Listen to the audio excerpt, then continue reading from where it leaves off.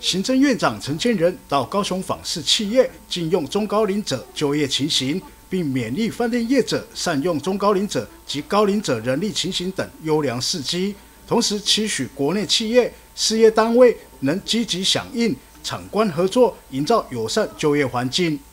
但是我要跟各位说啊，要能够啊来好好的啊任用这一些中高龄的工作者啊，这一个企业主呢是要有很好的这样的一个决心啊啊有要有勇气，而且呢要有智慧，而且呢啊要有啊啊仁慈啊仁仁爱的心。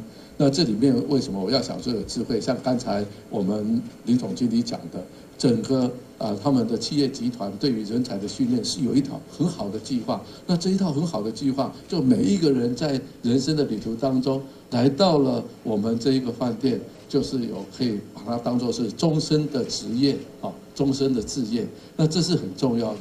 二零一五年、二零一六年以来哦，我们就意识到说，其实这个呃，因为少子化的关系，所以人力的部分呢，逐步哈迈向年长。那所以呢，我们在这边哈也。接受了哈，呃，我们求助于这个银法中心，好，那我们这边呢也接受了这个南区银法中心呢很大力的协助，哦，那在近这几年哦，更是受到这个劳动部人力发展署的这个协助哈，让我们的体系运作呢能够更趋的这个稳定。陈建仁访视中高龄员工工作情形，员工表示公司相当照顾并体恤中高龄员工，透过职务再设计。工时弹性也有申请辅具。我在五年前是刚满二十五年，一般就是哈二十年就可以退休了。当时因为老实讲，也说比较真实哈，我们还是要生活啦。因为你越来越年纪越来越大，你不工作，你叫我每天退休的话哈，那种日子老实讲啊不习惯，就继续下去。但是。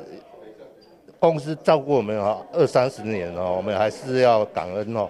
我在汉平工作十八年了，嘿，然后公司是一个幸福企业，对我们这些年龄比较大的也是有蛮照顾的，就是从年轻做到现在了，十八年了，很久了。啊，目前现在已经五十八岁了，啊，目前的工作就是做的还蛮快乐的，而且现在那个政府那个又有补助，我有护膝。